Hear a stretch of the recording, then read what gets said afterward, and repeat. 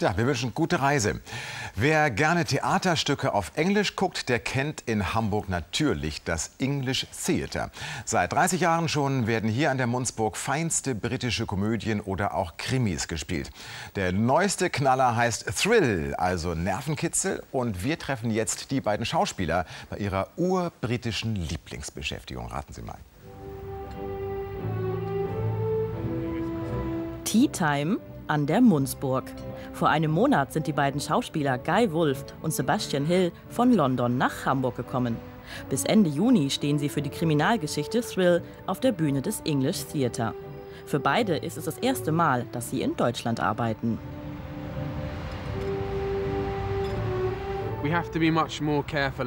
Wir müssen hier viel artikulierter sprechen als in England. Und wir müssen aufpassen, dass wir gut verstanden werden.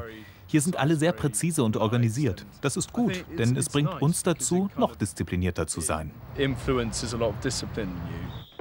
Das Stück basiert auf der wahren Geschichte von Nathan Leopold und Richard Loeb.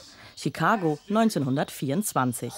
Die beiden hochintelligenten Studenten halten sich für Übermenschen im Sinne Friedrich Nietzsches.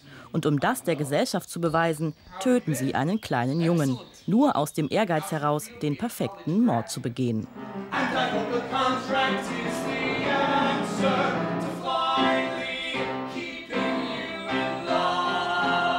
I think das ist die größte Herausforderung des Stücks. Die Verantwortung in jeder Szene, genau auf den Punkt, 100 Prozent da zu sein. Fast 500 britische Schauspieler haben sich beim Casting in London für die Rollen beworben. Die beiden hatten genau dieses, wonach ich gesucht habe, diese Echtheit in allem, was sie getan haben.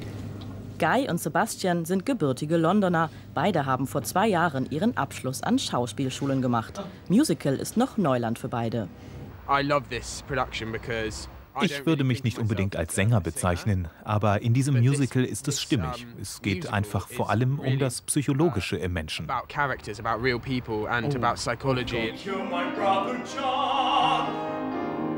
My inheritance would grow. You're a lunatic, come on.